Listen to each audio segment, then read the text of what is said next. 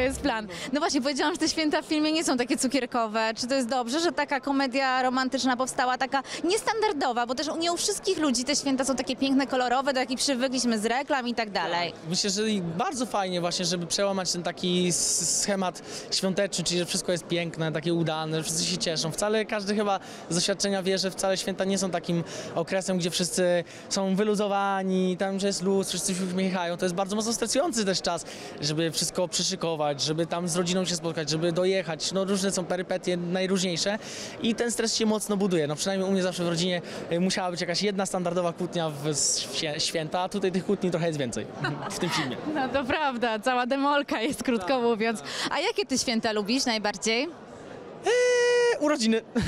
to też święto.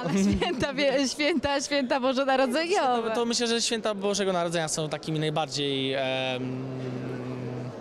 no, świętami, które naj, naj, najbardziej pamiętam, najlepiej ze wszystkich. A jakie one muszą być, a jakich sobie nie wyobrażasz? Muszą być w domu y, i muszą być z rodziną, a nie wyobrażam sobie gdzieś wyjechać po prostu i być gdzieś za granicą na święta. Tak. A prezenty wolisz dostawać czy kupować? A to różnie, zależy. Lubię i dostawać i kupować, ale dostawać też lubię. A już y, wybierasz coś, czy na ostatni dzwonek, że tak powiem, zostawiasz te zakupy prezentów świątecznych? Jeszcze nie mam przyszykowanych y, prezentów, ale, ale mam już mniej więcej w głowie ustaloną e, gdzieś tam jakąś plan, co dla, co dla kogo, więc będę realizował. No Ja to słucham cały rok, wiesz, i tak sobie nieraz odkładam, bo sobie pomyślę, o to będzie dla tego, to dla tej osoby i tak to, dalej. To się szykujesz. No, no tak, tak, tak. E, słuchaj, no dobrze, mogę cię jeszcze prosić, żebyś złożył życzenia naszym widzom? Na, y, już świąteczne.